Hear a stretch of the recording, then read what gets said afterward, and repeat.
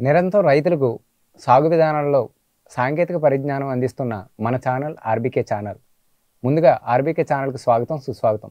ఈనాటి కార్యక్రమానికి విచ్చేసిన మన అభుదయ రైతు శ్రీ మొక్కపాటి రాంబాబు గారు అడవినెక్కలం గ్రామం ఆగిరిపల్లి మండలం కృష్ణా జిల్లా.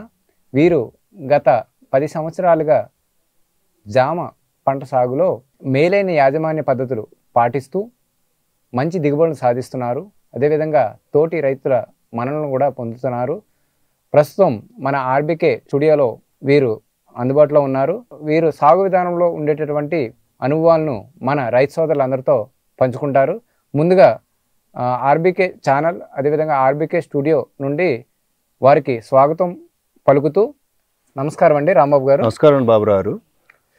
ఆర్బీకే ఛానల్ వారికి ప్రత్యేక ధన్యవాదాలండి అవకాశం నాకు కల్పించినందుకు. ఓకే రాంబాబు గారు.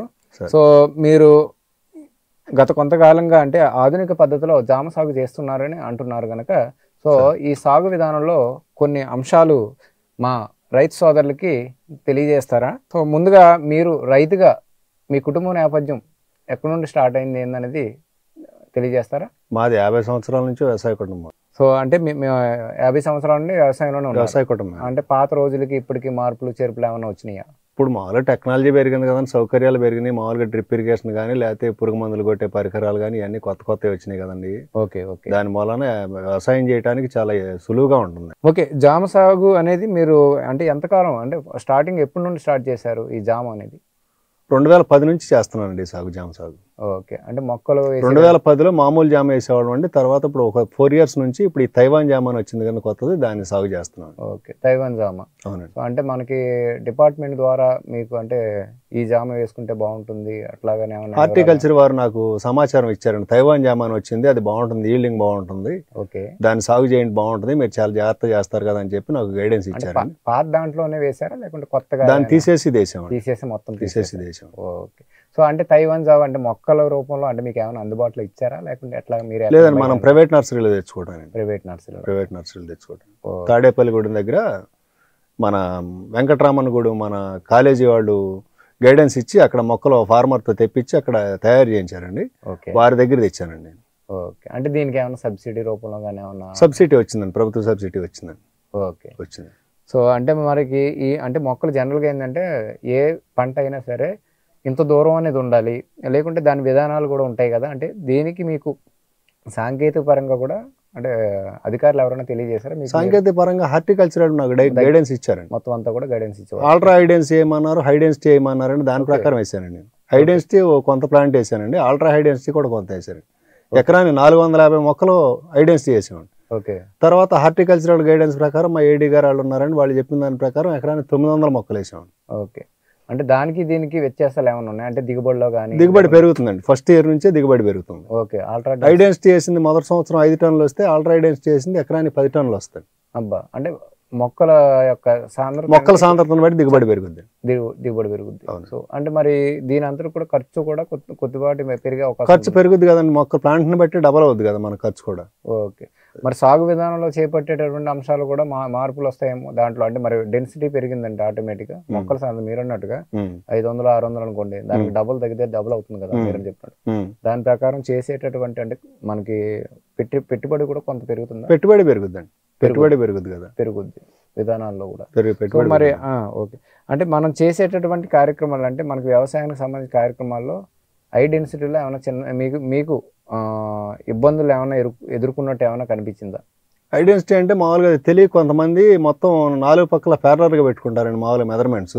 ఓకే. అలా కాకుండా నేను వచ్చేటప్పుడు కల్లా టెన్ బై ఫైవ్ పెట్టానండి. పది అడుగులు ఒక పక్క చాలుకు చాలుకు మధ్యలో. ఓకే. ఐదు అడుగులు మొక్క మొక్క మధ్యలో పెట్టుకున్నాను. ఓకే. ఇన్నర్ కల్టివేషన్ చేసుకోవడానికి కానీ హార్వెస్టింగ్ చేయడానికి కానీ ఈ పెస్టిసైడ్స్ మనం స్ప్రేయింగ్ చేసుకోవడానికి కానీ మామూలు వీలుగా ఉంటుందండి మనకి. అందుకని నేను అలా పెట్టుకున్నాను నేను చేసింది బాగానే ఉందండి అది. ఆ విధానం రైతులు ఫాలో అవ్వచ్చు పది బై ఐదు. ఎరువులు వేస్తారా? ఎరువులు కూడా ఎరువులు మొత్తం అంటే డ్రిప్లోనే వదులుతామండి. మొత్తం డ్రిప్లో మొత్తం డ్రిప్లోనే పశువుల ఎరువు కానీ పశువులు ఎరువు వేస్తామండి. ఫస్ట్లో వర్షాకాలం జూన్ నెల రాగానే అక్కడ నుంచి మామూలు మొత్తం ఎరువులన్నీ కూడా ఈ వాటర్ సాల్బుల్ ఫెస్టిలైజర్స్ వచ్చినాయండి. వాటిని డ్రిప్లోనే ఇస్తాం డ్రిప్లో మొత్తం. అంటే సిఫారసు చేసిన మేరకు? సిఫారసు చేసిన మేరకు అండి. ఓకే. అంటే జూన్ జూలై నెలలో ఒక ఐటమ్ ఇస్తామండి. ఓకే. ట్వెల్వ్ సిక్స్టీ వన్ అని ఒకటి ఇస్తాం. భాస్వరం ఎక్కువ ఉండే ఎరువు. ఓకే. దాని తర్వాత నుంచి మళ్ళీ మొక్క పెరుగుదల కోసం త్రిబుల్ నైన్టీ నైన్ ఇస్తామండి ఓకే. ఈ పూత పింద వచ్చిన తర్వాత పిందలు రాలకుండా ఉండడం కోసం zero fifty two thirty four అని ఒకటి వచ్చిందండి ఓకే. అది పిందలు పిందలు రాలుతాయి అంటాం కదా మన వర్షాలు అయిపోయినప్పుడు ఎండలు ఎక్కువ ఉన్నప్పుడు రాలుతూ ఉంటాయి కదా అది చేయకుండా ఉండడం కోసం ఫిఫ్టీ టు థర్టీ ఫోర్ అనే మందు ఇస్తాం. ఓకే. ఇస్తే ఆ పిందలు డ్రాప్ అవ్వకుండా అలా ఉంటాయండి.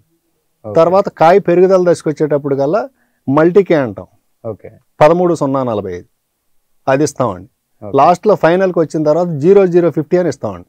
కాయ షైనింగ్ కోసం గట్టితనం కోసం. ఓకే. సో ఈ విధంగా ఎరువుల మేనేజ్మెంట్ కూడా ఎరువుల మేనేజ్మెంట్ చేస్తాం. డ్రిప్ ద్వారానే చేస్తారు డ్రిప్ ద్వారా చేస్తాం. మామూలుగా వేయాలంటే ఎందుకంటే ఇప్పుడు ప్రజెంట్ కూలీల ఖర్చు కానీ లేకపోతే మామూలుగా అందుబాటులో ఉండకపోవడం ఇవన్నీ కూడా చాలా ఇబ్బందికరమైన విషయాలు రైతుకి సంబంధించిన విషయానికి తీసుకుంటే. సో అంటే నీటి నీటి వస్తు కూడా మనకి ఏ పంట పండించాలన్నా కూడా నీటి వస్తు అనేది సర్వసాధారణ కంపల్సరీ. సో నీళ్ళు అంటే మీకు నీటి వస్తు దేని నుండి ఉన్నాయి అంటే కాలువల చెరువుల లేకుంటే బోరు బాబా ఇటువంటి బోర్లేనండి. బోర్ల ద్వారానే మీకు బోర్లేనండి. ప్రతి చేనికి కూడా డ్రిప్ ఇరిగేషన్ ఉంది. ఓకే మొత్తం అన్నిటి కూడా. డ్రిప్ ఇరిగేషన్ ఉందండి దాంట్లో చేయగలుగుతాం. ఓకే టోటల్గా ఎన్ని ఎకరాలు ఉంటుందండి టోటల్గా? నాది ఇరవై ఐదు ఎకరాలండి. ఇరవై- ఇరవై ఐదు ఎకరాల జామేనా? ఇరవై ఐదు ఎకరాలు జామేనండి. మొత్తం? ఓకే. సో ఏదేమైనా సరే ఈ పంట పండించడం అనేది ఒక ఎత్తు మార్కెటింగ్ అనేది ఒక ఎత్తు అని ఉంటుంది సర్వసాధారణంగా రైతుల విషయంలో. సో ఫస్ట్ నుండి లాస్ట్ వరకు ఎంత అయితే పని చేశారో వచ్చినటువంటి పంటను అమ్ముకోవడంలో కూడా చాలా జాగ్రత్తలు తీసుకోకపోతే చాలా ఇబ్బందులు ఎదుర్కొనేటటువంటి పరిస్థితి ఉంటుంది. మార్కెటింగ్ని అధిగమించడానికి మీరు తీసుకునేటటువంటి జాగ్రత్తలు ఏంటి? మార్కెటింగ్ అంటే మనకు విజయవాడ దగ్గరలో ఉందండి మాకు అడవినెక్కల విలేజ్ వచ్చేసరికల్లా ఓకే. అక్కడ నుంచి సైకిళ్ళ మీద ఈ టీవీఎస్ల మీద మోపెడ్ల మీద వీటిని సెంటర్లో బళ్ళమే పెట్టి అమ్ముకునే వాళ్ళు చాలా మంది వస్తారండి. ఓకే. అందులో ఈ తైవాన్ జామకాయలు బాగుంటున్నాయండి. ఓకే. దానికోసం చాలా మంది వస్తున్నారండి. ఓకే. విజయవాడ నుంచి తీసుకెళ్తా ఉంటారు. ఎక్కువ కాయలు ఉన్నప్పుడు మామూలుగా డిసెంబర్లో ఒకసారి ఫిబ్రవరిలో ఒకసారి కొంచెం ఎక్కువ ఈల్డింగ్ వస్తుంది అది ఆ తైవాన్ వెరైటీని బట్టి. ఓకే. ఆ రెండు సార్లు. అప్పుడు హైదరాబాద్ కానీ ఇంకో మార్కెట్లో పంపిస్తున్నాం. టేస్ట్ బాగుంటుంది. టేస్ట్ బాగుంటుంది. మామూలు జాంకాయ కన్నా దీనికి సంబంధం లేదు. చాలా బాగుంటుంది. ఓకే. స్మూత్నెస్ కానీ చాలా బాగుంటుంది. హార్డ్ బాగుంటుంది. చాలా బాగుంటుంది. ఓకే. ఏంటంటే మన జామలో కూడా మనం చూస్తున్నట్లయితే రీసెంట్గా కూడా మనం చాలా విషయాల్లో మనకి పండు ఈగ లాంటిది అంటే ఈగ లాంటిది కానీ ఏమైనా డ్యామేజ్ చేసే అవకాశం ఉండదా? ఏంటంటే మన మార్కెట్లో కూడా కొన్ని కాయలు చూసినట్లయితే దాంట్లో పురుగు ఉంటుంది. సో అటువంటిది ఏమైనా మీరు ఏమైనా గమనించారా? ఒకవేళ అటువంటిది గమనిస్తే అది రాకుండా మీరు తీసుకునే జాగ్రత్త ఏంటి? పొండేగ అనేది ఇప్పుడు ఈ తైవాన్ జామ్ వచ్చేటప్పటికల్లా స్వీట్ ఎక్కువ అయ్యేటప్పటికి ఆ పొండేగ అనేది ఆశిస్తుందండి. ఓకే. దానికి లాస్ట్ పోయిన సంవత్సరం వరకు రెండు వేల ఇరవై వరకు అయితే పురుగు మందులు స్ప్రే చేయటం కానీ ఈ మిథైల్ యోజనాలు ట్రాపులు పెడతాం కానీ ఇవన్నీ చేసుకుంటా వచ్చామండి. ఓకే. ఈ మామిడి తోటల్లో కూడా ఇప్పుడు ఈ కరోనా ఎఫెక్ట్ మూలాన మామిడికాయలు సరిగా హార్వెస్ట్ చేయలేక వాటిల్లో ఉధృతంగా పెరిగిపోయి అదంతా బాగా ఎక్కువైందండి ఈ సంవత్సరం. ఓకే. దానికోసం ఏం చేసామంటే ప్రొటెక్షన్ బ్యాగింగ్ చేస్తున్నామండి ప్రతి కాయకి. ఓకే. జామకాయకి. కానీ చాలా ఖర్చు వస్తుందిగా ఖర్చు అవుతుందండి ఖర్చు అయినా కూడా దానికి ఇబ్బంది ఏం కాదండి మరి ప్రొటెక్షన్ బ్యాగింగ్ అనేది చేయకపోతే మామూలుగా సెవెంటీ పర్సెంట్ కాయలు వేస్ట్ అవుతాయండి. థర్టీ పర్సెంటే మనకు వస్తాయి సెవెంటీ పర్సెంట్ అంటే సెవెంటీ పర్సెంట్ వేస్ట్ అవుద్దండి. హెవీ లాస్ అదే ప్రొటెక్షన్ బ్యాగింగ్ చేస్తే మామూలుగా సెవెంటీ నుంచి ఎయిటీ పర్సెంట్ మన చేతికి వస్తాయి. ఓకే. సో అంటే దగ్గర దగ్గర మీకు థర్టీ థర్టీ ప్లస్ మీకు థర్టీ ప్లస్ మనకు అవుతుందండి. ఆదా అవుతుంది. అది ఒక్కొక్క కాయకి వచ్చి మామూలుగా సుమారు అరవై నుంచి అరవై ఐదు పైసలు అవుతుందండి. ఓకే. కేజీకి వచ్చి ఐదు నుంచి ఆరు కాయలు వస్తాయి. ఒక నాలుగు రూపాయలు ఖర్చు అవుతుందండి. ఇప్పుడు మీరు బ్యాగింగ్ అంటున్నారు కదా బ్యాగింగ్ చేయడం వల్ల కూడా చాలా కాయ సైజ్ పెరగడం కానీ కాయ సైజు పెరగటం షైనింగ్ రావడం కూడా ఉంటుందండి. ఓకే. ఎంత ఎంత వస్తుందండి రాంబాబు గారు? అంటే మన సైజ్ పెరుగుతుంది. కదా, బరువు ఎంత వస్తుంది కాయ? రెండు వందల నుంచి మూడు వందల గ్రాములు ఎక్కువ కాయలు ఉంటాయండి. రెండు వందలు మూడు వందల గ్రాములు రెండు వందల నుంచి మూడు వందలు ఉంటాయి. గ్రాములు. మూడు కాయలు వేస్తే దగ్గర దగ్గర కేజీ వస్తుంది మూడు నాలుగు నాలుగు నుంచి ఐదు కాయలండి. ఓకే. యావరేజ్గా వచ్చి నాలుగు నుంచి ఐదు కాయలు అయితే కేజీ అండి. ఓకే. నాకు వచ్చి అడవి నక్కలంలో రోడ్డు పక్కన నాలుగు ఎకరాల తోట ఉందండి. ఓకే. దాంట్లో అయితే అక్కడ రోడ్డు పక్కనే కౌంటర్ పెట్టి అమ్ముతామండి మేము. Okay okay. అది కూడా ఉంది. విజయవాడ నుంచి వచ్చే ఉద్యోగస్తులు వీళ్ళందరూ మా మండలానికి వచ్చేవాళ్ళు మొత్తం కూడా తీసుకెళ్తారండి అక్కడ నుంచి. ఓకే. అంటే ఇప్పుడు ఏంటంటే మీరు ఇందాక చెప్పినట్టుగా మార్కెటింగ్ వచ్చేసరికి అంటే దగ్గరలో ఉండే విజయవాడ అంటున్నారు. బాక్సులు కానీ లేకుంటే సైకిల్ ద్వారా వచ్చి తీసుకెళ్తానంటున్నారు. అంటే మీరు పండించే పంట పంట అంతటిని కూడా వాళ్ళు తీసుకెళ్ళిపోవడానికి అవకాశం ఉంటుందా? లేకుంటే తీసుకెళ్తారండి మొత్తం? తీసుకెళ్తారండి. మీకు ఎక్స్ట్రా ఏమి ఎక్స్ట్రా ఏం లేదండి. కంటిన్యూగా కోసినా కూడా మీకు ఒక సరిపోతుంది. సరిపోద్దండి. ఓకే. అంటే సుమారుగా ఎంతమంది వస్తూ ఉంటారు? రోజు పది మంది వస్తారండి. పది మంది. పది పది మంది మందికి వస్తారు. సరిపోతుంది. పది మంది వస్తారండి. ఓకే. అంటే మీరు సుమారు ఇరవై ఐదు ఎకరాలు అంటున్నారు కదా. ఇరవై ఐదు. ఎకరాల తోటలో వచ్చేటటువంటి పంటని వెళుతుందా అనేది డౌట్ వచ్చింది నాకు. వెళ్ళిపోద్ది వెళ్ళిపోద్దండి వెళ్ళిపోద్ది ప్రాబ్లం వెళ్ళిపోద్ది. ఓకే. రోజువారీ అంటే ఆదాయంలో ఎంత వరకు వస్తుందండి? అంటే దాని యొక్క దిగుబడి ఎన్ని కేజీల వరకు అమ్ముతుంటారు డైలీ? ఎకరానికి వచ్చేటప్పటికల్లా ఇయర్లీ వన్స్ వచ్చేటప్పటికల్లా పది నుంచి పన్నెండు టన్నులు అలా వస్తాయండి. ఓకే. పన్నెండు టన్నులు వస్తే కేజీ లెక్క అమ్ముతున్నాం దాన్ని మామూలుగా. ట్రైల్ లెక్క కాయల లెక్క ఏం కాదండి. ఓకే. కేజీ ఎంత కేజీ ఇరవై నుంచి ఇరవై ఐదు రూపాయలు వెళ్ళదండి కేజీ. ఓకే. పది టన్నుల కాయలు కాస్తే మామూలుగా దానికి ఒక అరవై నుంచి డెబ్బై వేల రూపాయలు ఖర్చుల కింద పోయినా కూడా లక్ష నుంచి లక్ష ముప్పై వేల రూపాయలు ఇన్కమ్ వస్తాయి ప్రతి ఎకరానికి. ఓకే. ఏదైనా కూడా లాభదాయకమే. ప్రస్తుత మా ప్రస్తుత పరిస్థితుల్లోనైతే తైవాన్ జామ్ వాంటింగ్ ఏనండి లేదు. ఓకే. జనాలు తినడానికి సరిపడా కాయలు లేవండి. పెద్ద పెద్ద రైతులు చాలా మంది వేసి ఈ ఫ్రూట్ ఫ్లై మూలాన్ని మేనేజ్మెంట్ చేయలేక వాళ్ళు ఎక్కడో ఉండి తోటలు ఎక్కడో ఉండి దాన్ని సరిగ్గా చేయలేక తీసారండి ఇవాళ తైవాన్ జామ్ తోటలు ఇంకా వేయాల్సిన అవసరం కూడా ఉందండి ఓకే. అంటే ఫ్రూట్ ఫ్లైయే ప్రధాన అంశం అంటున్నారు కనుక దీనికి మీరు ఇంకా ప్రత్యేక ప్రత్యేకంగా అంటే జాగ్రత్తలు ఏమైనా తీసుకుంటున్నారా? ఇంకా ఫ్రూట్ ఫ్లైకి ఇంకా బ్యాగింగ్ చేసేస్తున్నాం ఇంకా Only దానికి వేరే జాగ్రత్తలు ఏం అవసరం లేదండి. ఓన్లీ బ్యాగింగ్ చేసేస్తే సరిపోద్ది. సరిపోద్దండి. ఓకే. అంటే చాలా ఒక ఇరవై నుంచి ముప్పై గ్రాముల సైజులో ఉండగా చేస్తామండి బ్యాగింగ్. ఓకే. చిన్న కాయ అప్పుడు. చేసేస్తే దాని మీద మామూలుగా ఇంకోటి కూడా ఆలోచించండి దాంట్లో. ఈ పురుగు మందులు మనం ఏదన్నా వేరే పురుగు మందులు కూడా స్ప్రే చేసినా కూడా ఫ్రూట్ మీద పడకుండా. ఒక రకమైన సిస్టమ్ ద్వారా ఒక ఆర్గానిక్ పర్పస్లో పండించినట్టు అవుద్ది అనే దాంట్లో బ్యాగింగ్ అనే దాన్ని మేము లైక్ చేస్తున్నాం. అంటే బ్యాగింగ్ అంటే ఏ ప్రకారం ఉంటుంది? అంటే మీరు ప్లాస్టిక్ కవర్ అని. ప్లాస్టిక్ కవర్ Plastic వాడతారు. అంటే మరి లోపల గాలి వెళ్తుందా? అంటే మనకు వెళ్తురు వెళ్తుందా? కింద పక్క ఓపెన్ ఉంటుందండి. ఓకే కింద పక్క ఓపెన్. ఉంటుందండి. పై పక్క సీలింగ్ చేసిన పక్క కట్ చేసి. దాన్ని పిన్ కొడతామండి కింద పక్క మొత్తం ఓపెన్ ఓకే వెంటిలేషన్ బాగానే ఉంటుందండి దాన్ని. ఆ ఫ్రూట్ ఫ్లై వచ్చేటప్పటికల్లా ఇలా కాయ ఉందనుకోండి కాయ మీద ఇక్కడ పెడుతుంది కానీ అండి మామూలుగా ఇక్కడ కింద నుంచి వెళ్ళిపోయి దొరబడదండి దాంట్లో.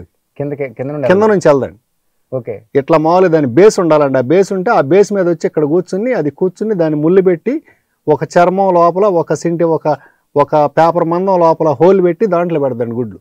ఓకే. దాన్ని మనం పురుగు మందులు కొట్టినా కూడా గుడ్డు సావదండి.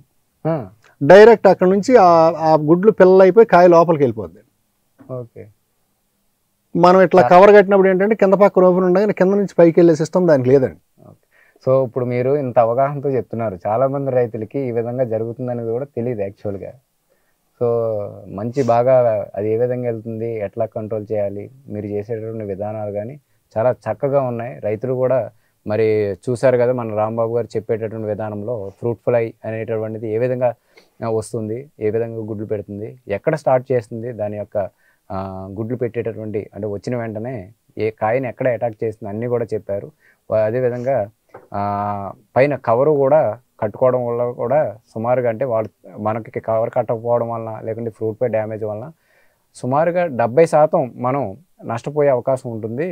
మనం ఎలా కట్టడం వలన సుమారుగా ముప్పై పైబ పైబడి అంటే ముప్పై శాతం పైబడి కూడా మనకి ఈ దిగుబడి అనేది కాపాడుకోవడం జరుగుతుందని కూడా చెప్తున్నారు. సో ఇంకా ఇంకొక విషయం అండి ఆ, final గా మిమ్మల్ని అడిగేది ఏంటంటే చాలా మంది రైతులు వేయవలసి ఉందని అంటున్నారు మీరు. అంటే ఈ క్రాప్ని ఇంకా పెంచవలసి ఉంది మనకి అవసరం కూడా ఆవశ్యకత మార్కెటింగ్ కూడా అంటున్నారు కనుక. మా అంటే వ్యూవర్స్ ఎవరైతే మా రైతు సోదరులు చూస్తున్నారో అంటే సాగు విధానాలు కానీ తెలియక కొంతమంది సో ఈ పంట విధానం హై డెన్సిటీలో చేయడం వలన అదేవిధంగా మేనేజ్మెంట్ చేయడం కోసం ఏమైనా మీ తెలిసినటువంటి ఏమైనా సలహా ఇస్తారా? సలహాలు అంటే వేసుకోవచ్చు అండి హార్టికల్చర్ వాళ్ళు మంచి గైడెన్స్ ఇస్తున్నారండి మనకు అందుబాటులోనే ఉంటున్నారు. ఓకే. ప్రతి ఊరికి కూడా వాళ్ళ సలహాలు సూచనగా మనకు వచ్చిన ఇబ్బంది ఏం లేదని బాగానే చెప్తున్నారు. ఈ తైవాన్ జామకాయలు అనేది పెద్ద పెద్ద రైతులు టౌన్లో ఉండేవాళ్ళు వచ్చి మామూలుగా వ్యవసాయం చేసి తోటలు వేసారండి వేస్తే అది ఏం జరిగిందంటే ఈ ఫ్రూట్ ఫ్లై అనే మహమ్మారి మూలాన ఆ కాయలన్నీ పాడైపోయి వారి గిట్టుబాటు గాక ఆ తోటలన్నీ తీసేసిన దాఖలాలు కూడా చాలా ఉన్నాయండి. జామ సాగు చెయ్యాలి అని అంటే బ్రాయిలర్ కోడిలాగా నిరంతరం రైతు అనేవాళ్ళు అబ్జర్వేషన్ తప్పనిసరి అండి. మనం ఏదో వేసేసాం మన మామూలు కాయలు వచ్చేస్తాయి డబ్బులు వచ్చేస్తాయి అని అనుకుంటే తప్పండి. నిరంతరం ప్రత్యేకంగా అబ్జర్వేషన్ చేస్తూ ఉంటేనే కుదురుద్దండి. తైవాన్ జామ సాగు చేయాలనే రైతులు మామూలుగా బ్రహ్మాండంగా చేయొచ్చండి దాని గురించి ఇబ్బంది ఏం లేదు. ఇవాళ మార్కెట్ అవసరాలకు తగ్గట్టుగా లేదు. ముప్పై పర్సెంట్ మాత్రమే అందుబాటులో ఉంది. డెబ్బై పర్సెంట్ తైవాన్ జామకాయలు ఇంకా కావాల్సి ఉన్నాయి. రైతులందరూ సాగు చేసుకోవచ్చు జాగ్రత్తగా చేసే రైతులు. ఎక్కడో ఉండి సాగు చేద్దాం అనేటట్టయితే వేయొద్దండి దాన్ని. మనం దగ్గరలో ఉండి అందుబాటులో ఉండి విలేజ్లో ఉండి మనం చేసుకోగలం అనుకుంటే వేసుకోండి. హార్టికల్చర్ వారి సూచనలు కూడా చాలా బాగా ఉన్నాయండి. వారు దాని గురించి మంచి మంచి సబ్జెక్టే చెప్తున్నారు. ఈ ఫ్రూట్ ఫ్లై అనేది ఒకటి ప్రధాన సమస్య అండి దానికి. ఆ ఫ్రూట్ ఫ్లైకి ప్రొటెక్షన్ బ్యాగింగ్ అని మన ప్లాస్టిక్ కవర్లు కడుతున్నామండి. ప్రకృతి వైపరీత్యాల వల్ల అపార నష్టం జరగకుండా రైతుకి స్థిర ఆదాయాన్ని కల్పించే పంటల్లో తైవాన్ జామ ఒకటండి. కాబట్టి రైతులు నిరభ్యంతరంగా మామూలుగా తైవాన్ జామను సాగు చేసుకోవచ్చు. ఓకే అండి చూశారు కదా ఇప్పటి వరకు శ్రీ మొక్కపాటి రాంబాబు గారు వారికి ఉండేటటువంటి హై డెన్సిటీ విధానంలో జామ సాగు ఏ విధంగా చేసుకోవాలి దాంట్లో వచ్చేటటువంటి ఇబ్బందులు అదేవిధంగా ఒడిదుడుకులను ఏ విధంగా ఎదుర్కోవాలి అనేటటువంటి విధానాలను చక్కగా మన తోటి రైతు సోదరులందరితో పంచుకున్నారు. ఈ కార్యక్రమం మీరందరికీ ఉపయోగపడుతుందని ఆశిస్తూ మరి యొక్క అభ్యుదయ రైతుతో మళ్ళీ కలుద్దాం. అంతవరకు సెలవు. నమస్కారం. నమస్కారం. నమస్కారం. నమస్కారం. నమస్కారం బాబు